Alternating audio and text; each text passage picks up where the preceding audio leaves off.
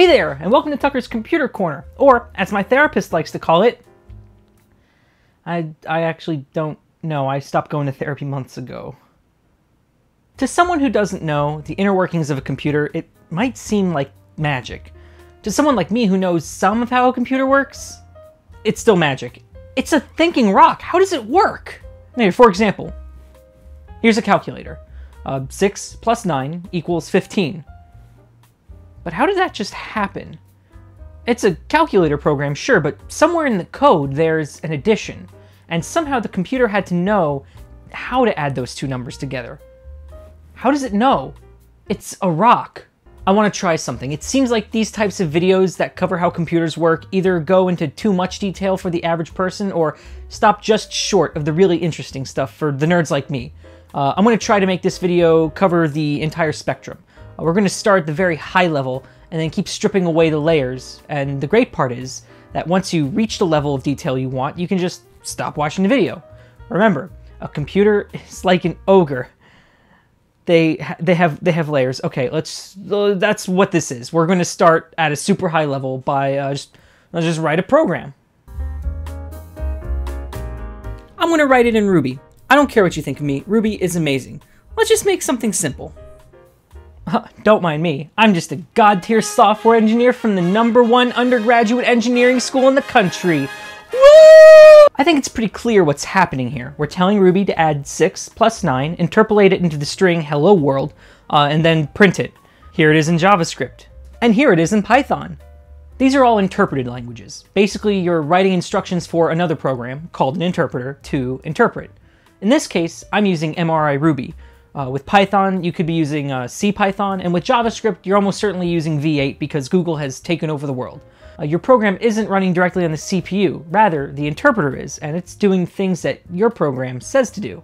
Uh, these are very popular because they have very high level concepts that are possible, but much harder to pull off in lower level languages.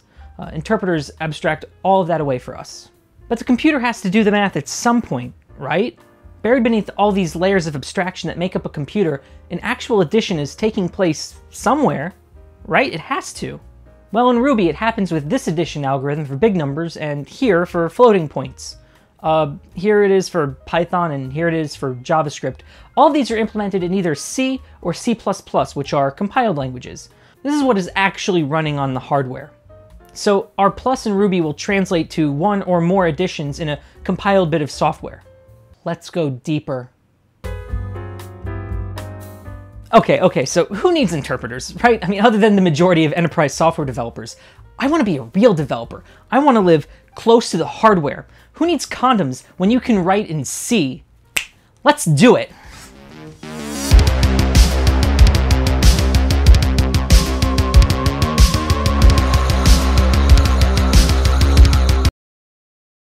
A real galaxy brain over here, huh? We compile it, bippity boppity boom. There's our thingy and it's beautiful, but how does it work? Usually even at this level, unless you're doing something interesting or weird, you don't have to care. But we care, right? Basically a compiler, I'm using GCC here, takes the code, pre-processes it, parses it, translates it into an object file, and then links it to the various libraries we need to interact with the operating system underneath. Like printf. We don't define that anywhere, it's in the library we're linked to. But there's still a lot of magic happening here. I mean, obviously this C source code isn't executing directly on the processor, it's still basically English. So it's the compiler that's transforming it into something that the computer can run? But what if we didn't have compilers?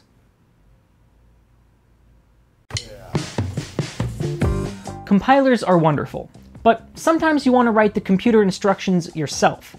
There are reasons someone would want to do this. Uh, masochism, for one, uh, but sometimes handcrafting code out of pure CPU instructions is useful when you want to optimize the ever-living out of a particularly critical bit of code.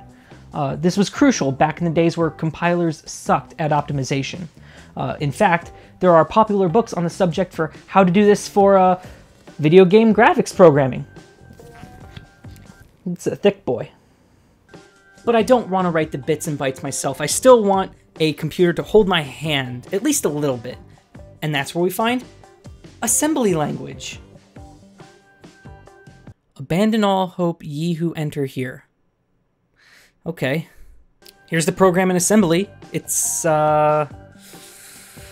You can work your way through it. Uh, it's not as easy to understand as the one in C, and especially the one in Ruby. no, no, but look, but look, but look.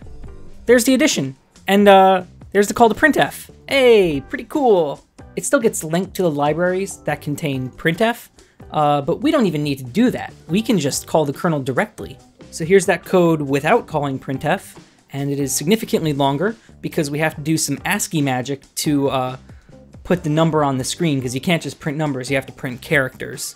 We still have to link the file with GCC or LD in order to uh, make it an executable, but it doesn't have to link it to any kind of library because everything is here. We don't need to reference anything outside of the program.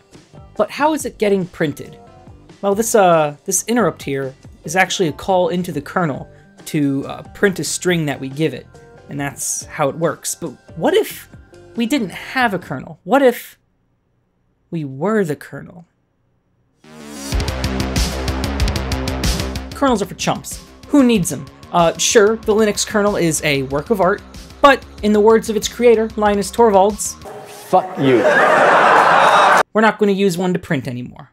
So this is pretty basic stuff, right? You feed a computer a boot sector and it'll just execute it willy-nilly. I don't know why people spend so much time and money in developing operating systems. Six and a half hours later. There, it's finished, and I never want to do this in assembly again. Life is just too short. Here, we're putting the characters in video memory, a character at a time, until we hit the end of the string, uh, and then we do the same magic with the numbers to put them on the screen too. And at long last, here it is. This is as low as we can go. These are the actual instructions that are being executed on the processor. But how does the computer know that this means add 2 to bx?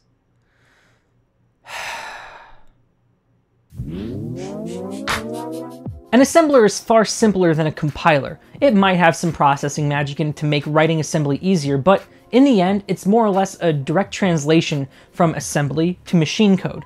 So when it comes across this add instruction with these parameters, it knows that for the processor I'm running on, uh, an x86 processor, this is the correct translation.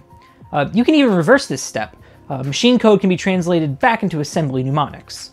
So, in a way, by writing assembly, I was already writing machine code with only a few creature comforts like mnemonics and labels.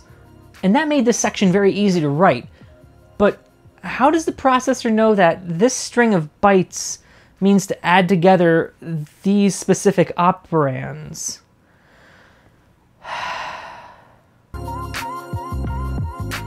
I want you to think of the most complicated thing you can think of uh, the human circulatory system, uh, the interactions of all the climates on a global scale, uh, why she won't call you back. A microprocessor is more complicated than whatever you just thought of. I'm not even going to pretend to know how the Threadripper in my computer works. Multiple cores, branch prediction, pipelines, no, no, none of that here. Let's just take a nice, simple CPU architecture like the single cycle MIPS data path. It's a simple instruction format too. Here's what loading two numbers and adding them looks like in MIPS assembly. Uh, and here it is in MIPS machine code. MIPS instructions are 32 bits wide. The top six bits are the opcode, aka what the instruction is, and the rest, depending on the type of the instruction, contains the parameters. The top six bits get decoded by this control unit. Based on these six bits, they turn different parts of the chip on and off. Uh, for example, this is the uh, add immediate opcode, and it will turn certain parts of the ALU on and off. The ALU is where the actual addition happens, and then other parts of the instruction determine where the result gets stored. So the chip knows that add immediate means to add numbers with actual circuitry and wires. The buck stops here, I guess. No, I don't want to talk about microcode. What, you want to know how a computer like actually computes the addition? What if we just don't go over that? So with just wires and circuitry, how does adding work? Well, it's all a matter of putting logic gates in the right order. Here's the diagram for an adder. It only adds one bit to another bit. Uh, we keep adding adders so we can add bigger numbers together. We get the answer as well as an overflow bit. If you want more information on adders and half adders, then go look it up. There is a bunch of information. Please do not make me go lower in the stack. Okay, so adders and other arithmetic functions in the ALU and across the CPU are made up of logic gates. Uh, they're building blocks of logic circuits. For example, an OR gate will output a 1 if any of its inputs are 1. Uh, an AND gate will output a 1 only if all of its inputs are 1. And you can negate things, and you can also have an exclusive OR, which will only output a 1 if exactly one of its inputs is 1. Okay, you, you get it. So this is what makes up the microscopic circuitry on a processor die uh, combinations of logic gates that make up arithmetic functions, memory storage, and control circuitry to make the CPU work. Now, obviously, this isn't what's printed directly on the die. Um, these are made up of transistors that dictate the flow of electricity through these circuits. And okay, I see where you're going with this, and I don't think it's necessary to traverse another step down. Logic gates are made up of patterns of transistors. Here are those patterns of transistors for common logic gates. Uh, these are what get printed onto the silicon in specific microscopic patterns to build the gates, which build up the logical units, which build up the structures of the CPU, which makes up the processor, which can run instructions that are assembled by an assembler, possibly after a compiler has compiled code, maybe to make a program to interpret a higher level language. Please do not ask me how transistors work because I really don't know. No, no, enough. There's a link in the description to a video about how transistors work, and it talks about how they work like on a physical level and a chemical level, using some nightmare fuel animations. Beyond that, you're asking how electricity works, and I think at that point you're just messing with me. It's a miracle that your computer works at all. From transistors that are now being printed at 5 nanometers, all the way up to the crazy things high-level languages can do.